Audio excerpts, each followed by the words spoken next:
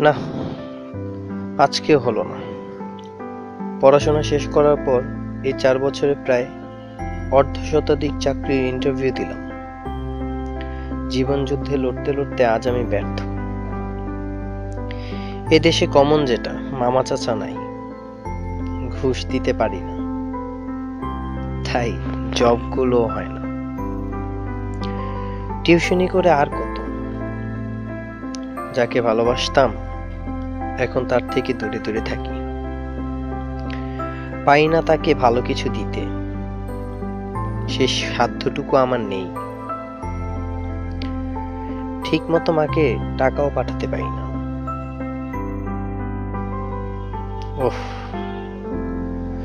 ভাবতে পারছি না, কি করব আমি? পারছি না ভালোবাসার মানুষটাকে কাছে নিতে।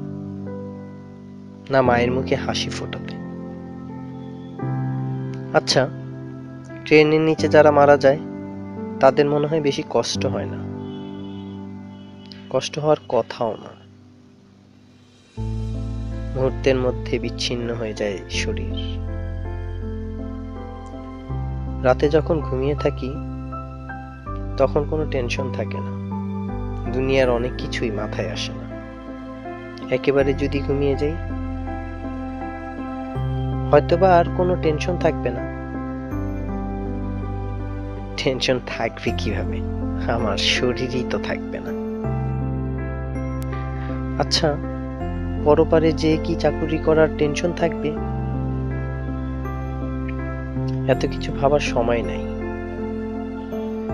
এখন শুধু ঘুমাতে চাই, চিরতরে।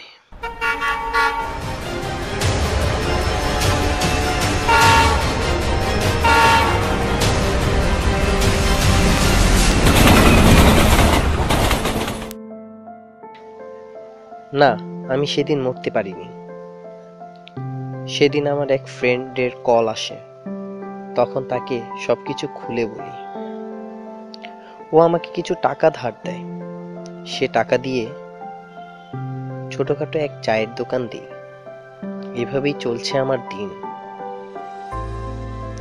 এখন আমার আর কোনো জব করার ইচ্ছা নেই। হয়তোবা আমার অনেক টাকা থাকবে না, কিন্তু আমি অসুখী নই। ভালো আছি সুখে আছি সুখেই থাকতে চাই।